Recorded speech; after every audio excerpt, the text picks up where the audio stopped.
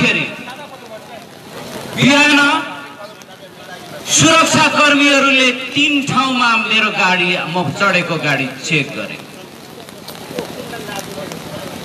कहिलेसम्म डराएर थारूहरूसँग डराएर शासन गर्छ यो सत्ताहरूले म प्रश्न गर्न चाहन्छु। यो थारूको आँगनमा तपाईँहरूले सुरक्षा कर्मीको गाडी तेर्साएर तपाईँहरूले चेक गर्न लगाएर तपाईँहरूले के शासन गर्न खोज्नु भएको कुन संवैधानिक कानुनको काम गर्न खोज्नु भएको म प्रश्न गर्न चाहन्छु।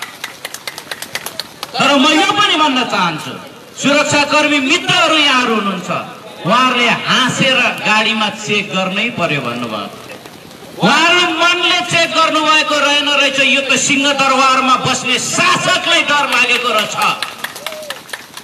तपाईँहरूले म यहाँबाट भन्न चाहन्छु। तपाईँहरूले थारूलाई अन्याय गरेको कुरा हामीले अदालतमा उठायौँ। यो नेपालको अदालतमा होइन अन्तर्राष्ट्रिय अदालतमा हामीले लगेर उठायौँ। अन्तर्राष्ट्रिय अदालतले थारूहरूलाई अन्याय भएको छ भन्नुभयो। तपाईँहरूले थारूहरूलाई अन्याय गर्नुभएको छ त्यस कारणले थारूहरूको नजरमा मात्रै होइन कानुनको नजरमा तपाईँहरू दोषी मात्रै होइन तपाईँहरू अपराधी हो म यो कुरा भन्न चाहन्छु यो अपराधीहरूले गरेको शासन यो अपराधीहरूले गरेको शासन अब टिक्नेवाला छैन। म यो कुरा पनि भन्न चाहन्छु किनभने अघि डाक्टर बाबुराम भट्टराईले भनेर जानुभयो उहाँहरूले लेख्नु भएको संविधानमा मैले अनुसन्धान गर्दाखेरि कानुनी हिसाब किताबले त्यसमा एघारवटा प्रावधानले आदिवासीहरूको थारू लगायत आदिवासीहरूकोलाई विभेद गर्छ। एघारवटा प्रावधानले विभेद मात्रै होइन त्यो विरुद्धमा छ। अनि तेइसवटा प्रावधानहरू त्यसले विभेद गर्छ। उन्चासवटा प्रावधानले त्यसले चाहिँ बहिष्करण गर्छ। अनि पाँचवटा प्रावधानले खस आर्यलाई सर्वोच्च जाति भन्छ डाक्टर बाबुराम भट्टराई। तपाईँको यो संविधान भइन्जेलसम्म यो देशमा यो अन्यायको विरुद्धमा लडाइँ चल्छ तपाईँले ढुक्क भएर हुन्छ मैले यो कुरा उठाउँदै गर्दाखेरि आदिवासीको कुरा मात्रै गरेको होइन। माननीय रेशम चौधरी भनेको थारूको मात्रै माननीय होइन। टिकापुरको चौतिस हजार नागरिकले भोट दिएको माननीय हो। चौतिस हजार जनताको माननीयलाई तपाईँले जेलमा खोज्नु भएको छ तपाईँले फलामको साङ्ली लाएर खोज्नु भएको छ यो चौतिस हजार नागरिकलाई तपाईँले प्रतिनिधित्व विहीन बनाउने यो तपाईँले लेखेको संविधानको तपाईँले धची उडाउनु भएको छ तपाईँको संविधान हामीले किन मान्ने? यो विभेदकारी संविधान हामी मान्दैनौँ। यो विभेदकारी संविधान तपाईँहरू मान्नुहुन्छ? यो विभेदकारी संविधान मान्दैनौँ। थरुवा थरुवान जिन्दाबाद। म एउटा कुरा भन्न चाहन्छु अब एउटा अन्तिम कुरा भन्न चाहन्छु तिमी राज्य नस्लवादी छौ तिमी राज्य विभेदकारी छौ। तिम्रो विभेदकारी राज्य तिमी शासक विभेदकारी छौ। तिमीले के गर्छौ तिमी गर। अब हामी एउटा काम गर्छौ। त्यो काम भनेको के हो भने रेशम चौधरीदेखि लिएर अन्ठाउन्न जना थारूहरूलाई तिमीले जेलमा राखेको छौ। त्यो जेलमा राखेको राजबन्दीहरू हुन्।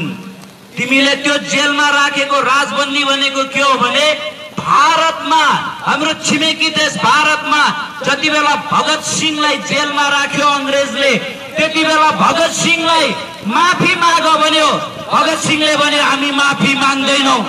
बल्ल बल्ल यहाँ आन्दोलन उठेको छ। त्यस कारणले यो आन्दोलनको दियो हामी निभाउँदैनौँ भनेर भगत सिंहले बरु फाँसीमा चढ्यो। उहाँले माफी मागेन। त्यही कारणले अङ्ग्रेजले भाग्नु पर्यो। राख रेशम चौधरीलाई त्यहाँभित्र हामी बाहिर क्रान्ति गर्छौँ आगो बल्छौँ यो कुरो तिमीहरूले लेखेर राख।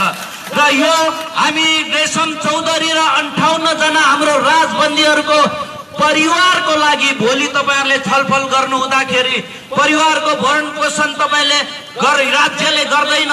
एक एक मुठी चामल तपाईँले भात खाँदाखेरि छुट्याउने योजना बनाउनुहोस्। त्यो परिवारलाई हामीले पालो। रेशम चौधरी जेलमा बस्छ। अन्ठाउन्न जना अरू कति थारू जेलमा बस्छ सात सय जना आदिवासी जनजाति जेलमा राखेको छ। अघि एकजनाले भन्नुभयो जेल भराउ भन्नुभएको छ। तपाईँको जेलमा अब हामी त्यो तपाईँको जेलभरि हामी आदिवासी जनजाति बस्छौँ। तिमी सिंहदरबारमा बस तर तिमीलाई याद राख। फ्रान्सेली राज्य क्रान्तिमा सबैभन्दा पहिले जेल तोडेर निक्लेको मान्छेले राजालाई त्यति बेलाको राजा तलाई जिलेटिनमा राखेर गिडेको थियो। त्यो इतिहास पनि छ।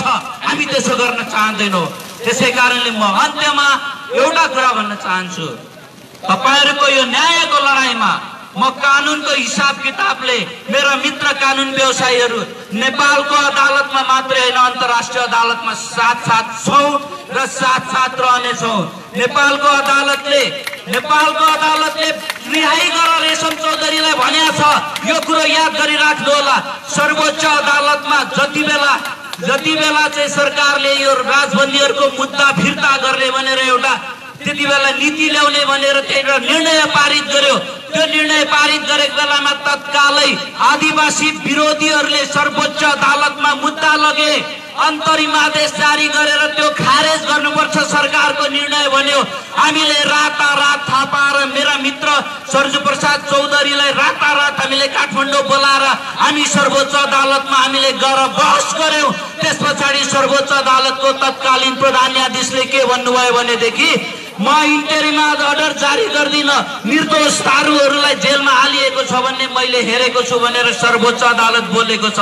तपाईँ सर्वोच्च अदालतको कुरा मान्नुहुन्छ कि मान्नुहुन्न? यदि तपाईँले सर्वोच्च अदालतको कुरा मान्नुहुन्न तपाईँले यो संविधान तपाईँले आफैले कुरा मान्नुहुन्न भनेदेखि तपाईँको शासन पनि हामीलाई मान्नु छैन संविधान पनि मान्नु छैन। थरुवाट हामी जसरी पनि डिक्लेयर गरेर देखाउँछौँ यो हाम्रो कुरा हो। जय थरुवाट